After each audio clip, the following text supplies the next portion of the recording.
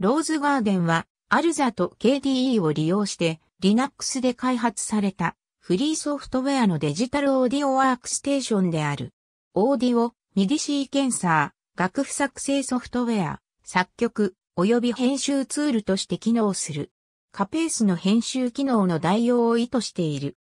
Rosegarden は、組み込みのソフトウェアシンセサイザーを提供しないので、 MIDI 構成から音を作り出すためには、ハードウェア MIDI シンセサイザー、 FluidSynth や TiMidity のようなソフトウェアシンセサイザーか、シンセサイザープラグインを必要とする。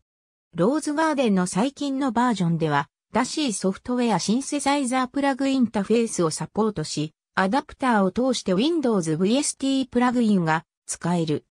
ローズガーデン2.1と呼ばれ、現在は X11 ローズガーデンとして知られているプログラムと区別するために同じ作者による後発の現在のローズガーデンプログラムは最初ローズガーデン -4 と命名された。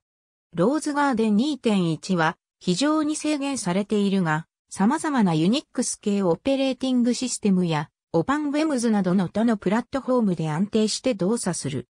対照的に、ローズガーデン -4 が Linux あるザシステムを使うので、非 Linux システムの上では非常に限られた方法で動作する。ローズガーデンプロジェクトは1993年にバース大学で始まった。ローズガーデン2.1は GPL の下で1997年にリリースされた。ローズガーデン4は2000年4月に始まった。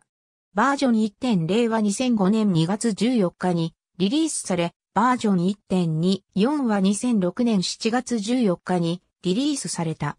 ありがとうございます。